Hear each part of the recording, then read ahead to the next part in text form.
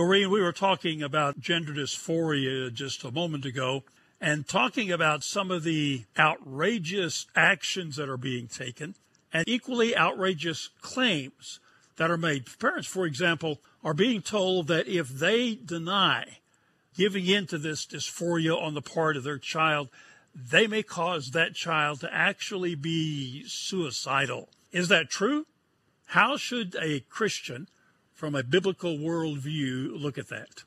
Well, I think it's first would be important to understand and recognize that a child that's facing this kind of dysphoria actually has issues. You know, there are underlying issues there that need to be addressed. I mean, you can't just deny that.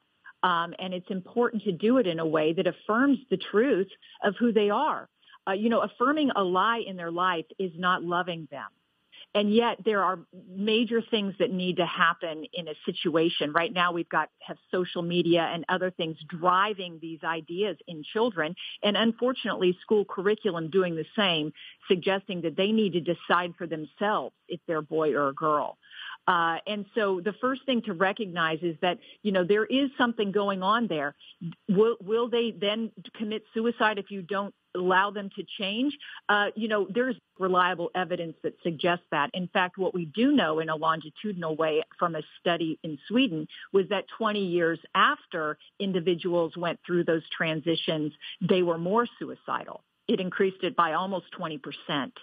And so it's, it's super important that parents understand that they don't start taking actions that are irreversible, that cause irreversible harmful damage to them. In fact, a child that starts out taking puberty blockers immediately arrests bone development, brain development, the other kinds of things that those hormonal changes uh, uh, allow for. And in fact, when you if you start giving them cross-sex hormones, which some doctors are prescribing as young as eight, nine, or ten, they are sterilized for life.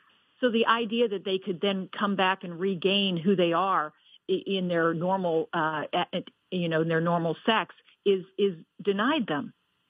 So we have got a lot of reckoning to do with the truth here. And it is dangerous to be going down a road that's denying the, the realities of what's happening to a child. They have no capacity for informed consent. And we have to recognize that.